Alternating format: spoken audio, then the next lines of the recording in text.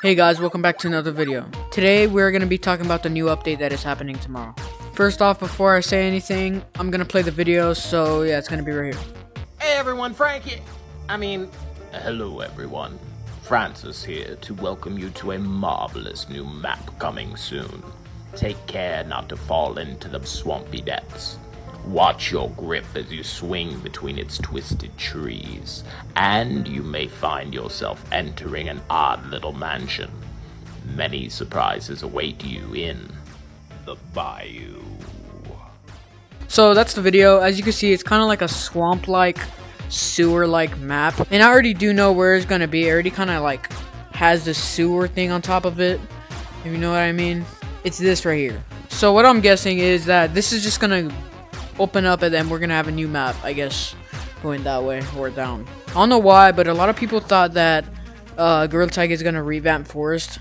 It's kind of a dumb idea that they revamp Forest because of how good this like map is, and it's the OG of the OG map. Like we started in this map and everything. So I don't think they would even do that if anything.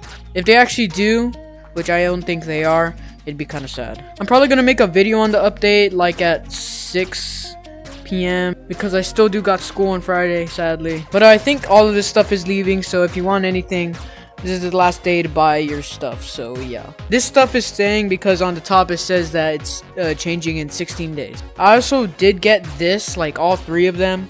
So whenever it comes in like, I don't know, whatever, November or something, I will be doing like a review on it, like the jacket, the plushie, and the backpack.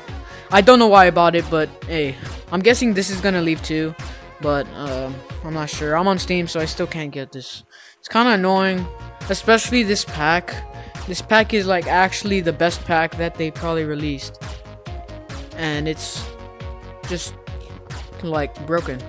So yeah, that's gonna be the end of the video. Hopefully you enjoyed. It's just a little quick short one on the update that's gonna happen tomorrow. Hopefully I could do a video on it. If not, then I got this one. So yeah.